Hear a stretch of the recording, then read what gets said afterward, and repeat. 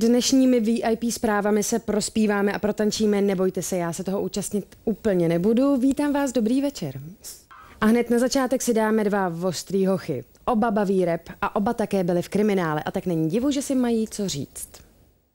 Když se světovým hvězdám narodí dítě, hlídá se každá prkotina a vše se objevuje v bulváru. Takže když dcera Beckhamových začala pár dní po oslavě prvních narozenin chodit, což pro neznalé začne skoro každé dítě, strhnul se šílený povyk. Ona chodí zázrak, no tak asi jo.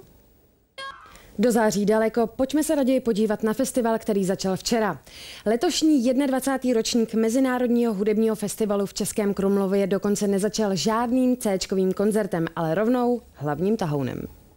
Holandský DJ Tiesto to včera rozjel a těch pár stovek lidí, co mělo tu možnost ho vidět naživo, nemuselo dokonce platit ani vstupné. A to se s ním ještě někteří mohli potkat osobně. Jo, někomu se včera splnil sen a my jsme byli u toho. No, bylo veselo.